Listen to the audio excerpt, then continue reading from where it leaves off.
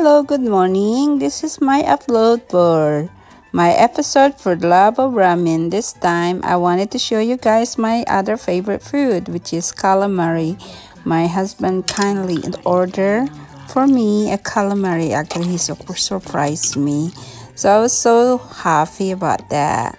And anyway, I made two different kind of ramen. One is for my son and for me in another day. But thank you for watching. Please do like and subscribe. See you guys later. God bless.